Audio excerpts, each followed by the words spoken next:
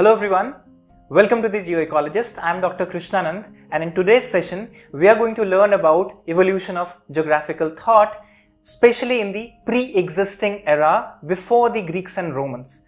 Now the question arises why is it important? It's important because the pre-existing knowledge is what provided impetus to the Greeks and Romans to develop further, broaden further the horizon of geographical knowledge, geographical understanding. So let's understand what happened during the pre-existing civilizations before the Greeks and Romans. In what ways did they contribute? What was the knowledge then? How did it develop? So these are the questions that we are going to answer in today's session. But before we go ahead, please like and subscribe to our channel and please press the bell icon for the updates. So let's understand what existed before Greco-Roman world because this is when we start thinking about the evolution of geographical thought. So Greco-Roman civilization is supposed to be the building block, right? So when it is supposed to be building block, we must understand that this block was built on a previous structure. So where did this structure come from? So what was its pre-existing? So we must understand the pre-existing first in order to understand that how did geographical knowledge come into Greek and Roman time? From where did they travel? And what was the journey all about? What were the contributions before the Greeks and Romans? So unless we understand pre-existing, we cannot understand the contribution and the level of geographical thought that existed in the Greek and Romans. So let's understand it. So for understanding that, we must learn certain words. What are those words? Mesopotamians, Phoenicians, Egyptians, Sumerians, Chaldeans, Babylonians and Assyrians. Who are these people? Or are these places?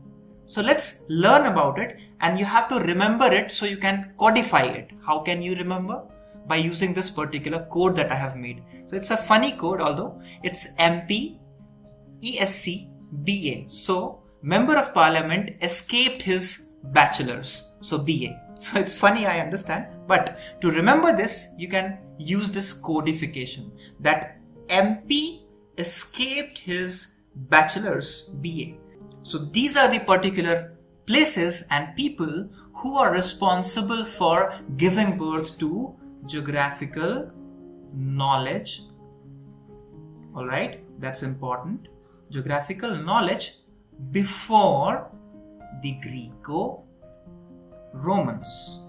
So that's why they are important. That before the Greeks and Romans who existed, these civilizations existed. Mesopotamians are those people who also include Sumerians, Babylonians and Assyrians. So Sumerians, Babylonians and Assyrians are part of this Mesopotamian civilization only. They are the outcome of Mesopotamian civilization. But here I have made a separate category for each one of them in order to understand them in a better way. So let's go one by one. First, let's see the overall Mesopotamians, then we'll be coming to Phoenicians and then so on. So MP escaped his bachelors. First one is the Mesopotamians. So Mesopotamian basically when we see, let's look at the location. Remember, in geographical thought, not just the geographical knowledge, but where this knowledge came from is very much important. And that's why geography itself plays a pivotal role for geographical knowledge. That's important. So here what you see is this particular region. Now, if you see this region, what is this region all about? So Mesopotamia basically is a term of Greek origin, which means land between two river. So where are those rivers? So one is this Euphrates river and one is this Tigris river.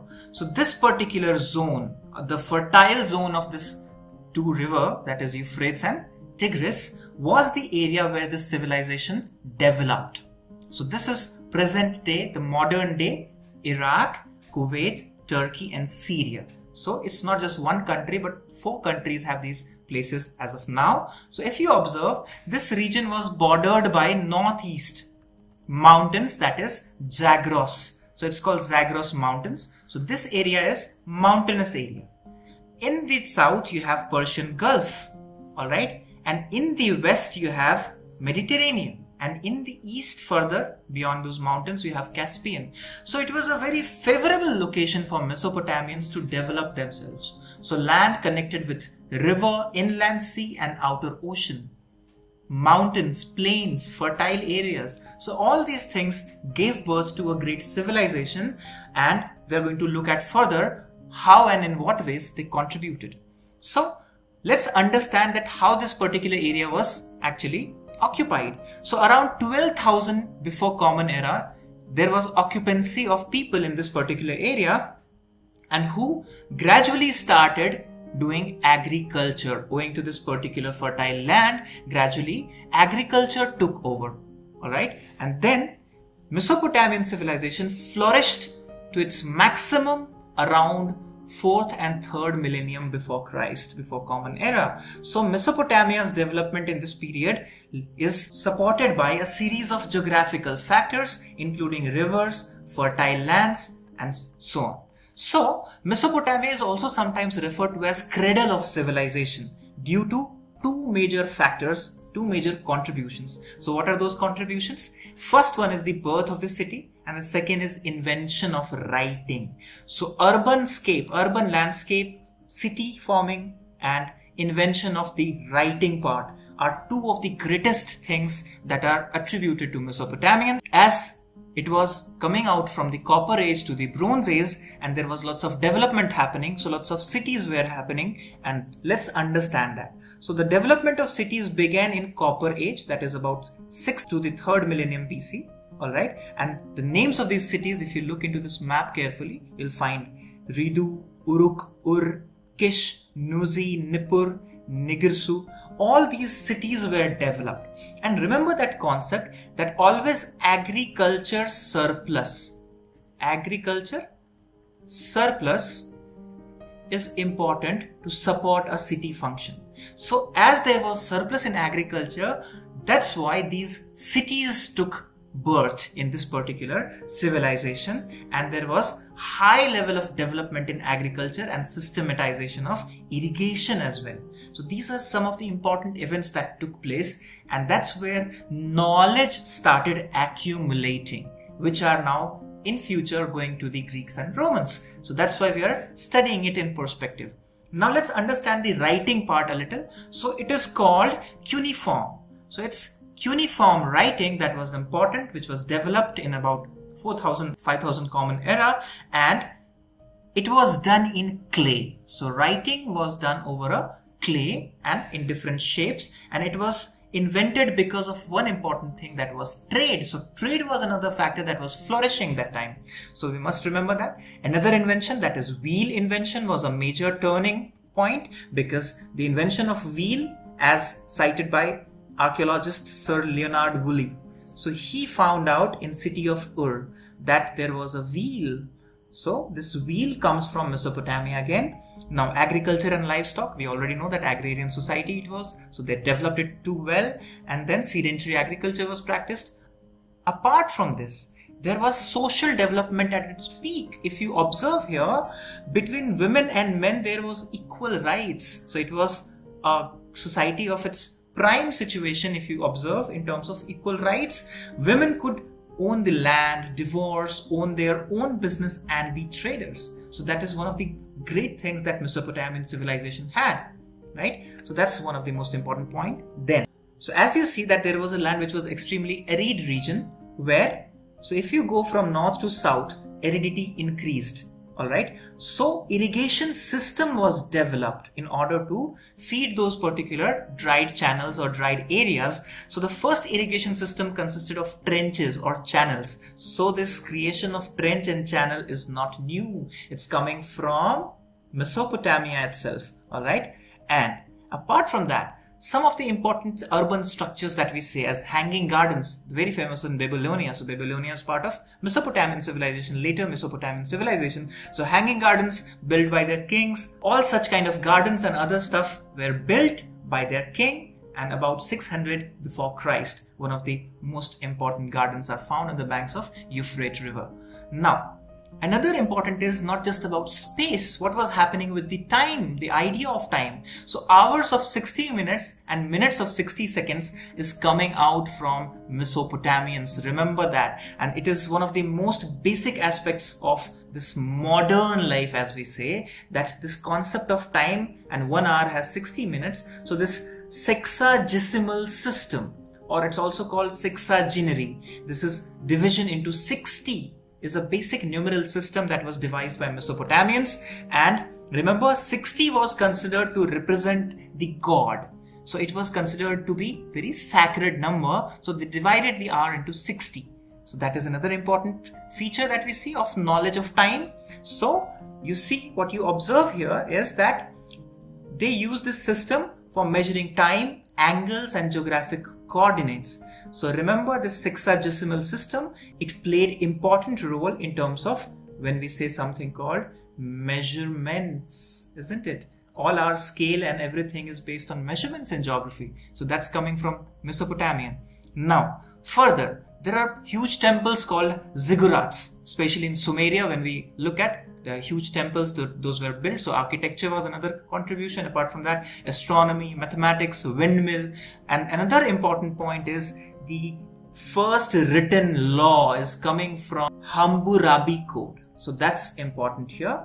Now, in short, Mesopotamians invented basically all those basic elements that constitute building of knowledge if we see through the creation of future inventions. So that is important here. Now let's look at the P part. So MP, remember? So M is over. Now let's look at P. So who was P? Phoenicians. So they are one of the most important civilizations of that time. So Phoenicians are modern day area of Lebanon, Syria and some parts of Palestine and Gaza even. So it's basically this particular place which is on the eastern coast of Mediterranean Sea.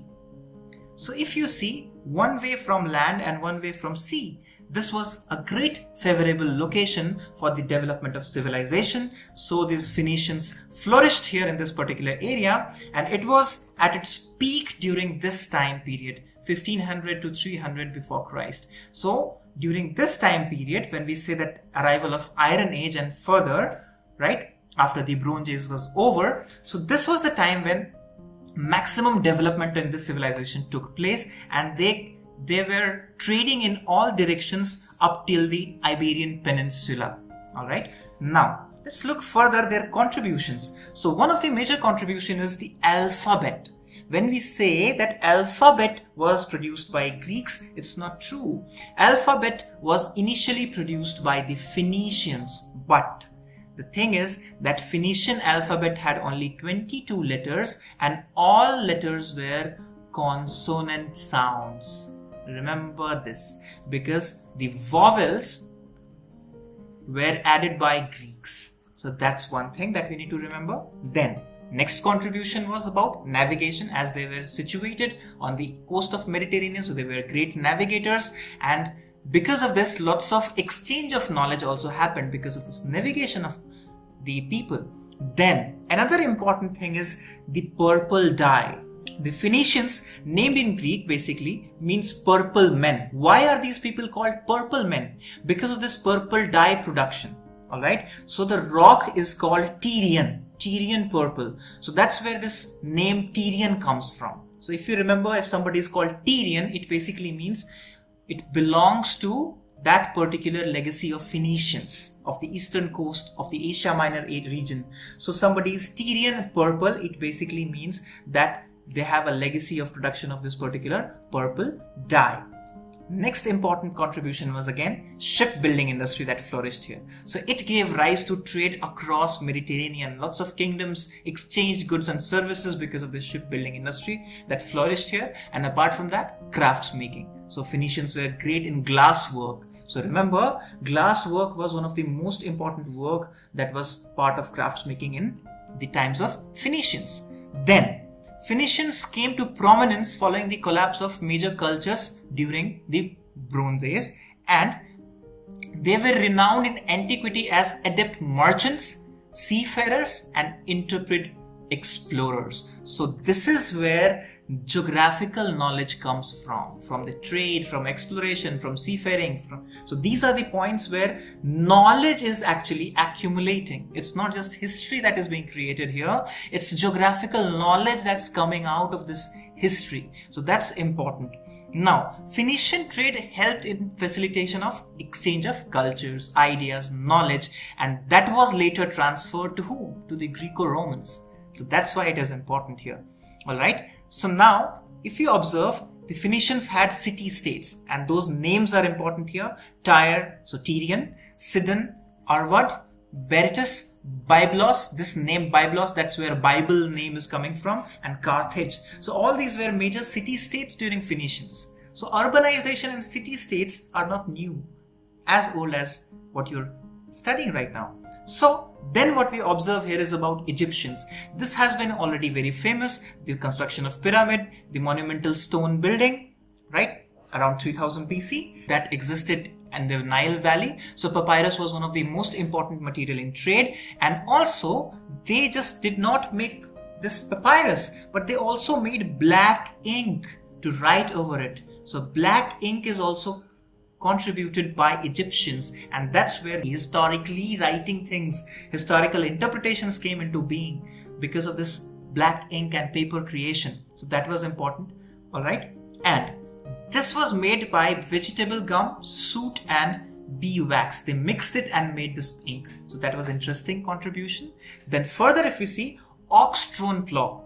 So if you observe this ox-drawn plow everywhere around the world, lots of places, especially in developing nations of present, which have no mechanization, still this is in vogue. People, farmers use this method. Sickle, so that was a curved blade. It was created by the Egyptians. Then irrigation, so canal irrigation, Nile Valley, all those things are important. Then shaduf. So what is a shaduf? If you observe here, this is basically a long balancing pole with a weight on one end and a bucket on the other. So this kind of irrigation is even today used in certain parts that there is a place where you have a weight in this wood and then you have water being taken out from the well. So this is what is called shaduf. So this was given by Egyptians. Then clocks. So that's important for time again. So this is another point. Then the polis system is not new. It was again given by the Egyptians. So they even had staff and who used dogs at that time. So that's very interesting. Then surgical instruments. These were the creations of initially the Egyptians as we know the mummification happened during that time. So what you observe here is that the known world of ancient Egypt saw Nile as the center. Now this is where locational attribute comes into the picture. Nile was most revered, most sacred and it was considered as the center. So that's his one point in terms of geographical location that was important again and the northern part which was connected to the Mediterranean. So that was important and then they also devised this Nile tax that was interesting part the land based tax that we pay coming from Nile tax so ways of measuring this land that is what is important the measurement part so it was given by Egyptians in the initial phase then contributions to mathematics, astronomy. So this was interesting. They did not have numerals for 2 to 9 or 0. They just had numbers for factors of 10. So 1, 10, 100, 1000. Their numeral system was factors of 10. So that was interesting here.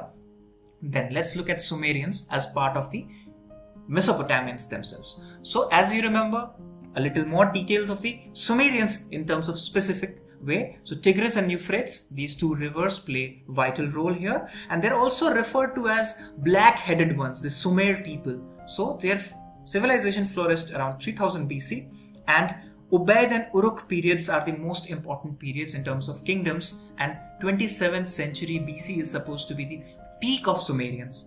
And remember, Sumerians believed that universe consisted of flat disk. So, if ancient scholars you hear that they said that it was a disk of flat disk floating in water it was not their own concept. It was coming long back in history that it was a flat disk enclosed by a dome. So something like there is a flat disk and it is enclosed by a dome. Earth was considered like this a particular shape.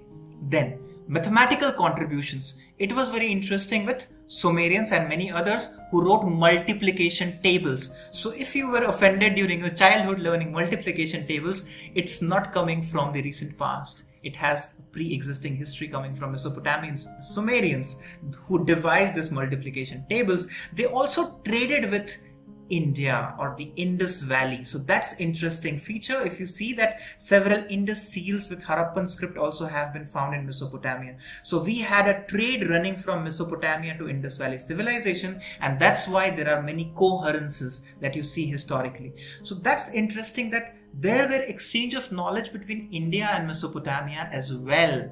So it's not evident but maybe possible that there were lots of knowledge at the same time flourishing in India which went to Sumeria or Mesopotamia. So we don't have a direct evidence but we have evidences as in the seals. So that's how knowledge gets transferred from one place to the other. Then come to Chaldeans. So who are those Chaldean people? They are basically a country existed in between 10th or 9th to the 6th century before Christ, if you say, and gradually they assimilated into Babylonia itself. So if you observe this map, you find this particular location called Chaldea here. So it's just the northern part of Persian Gulf, if you observe. So Assyria is here, Chaldea is here, and Babylonia is here. So later on, this entire area became Babylonia.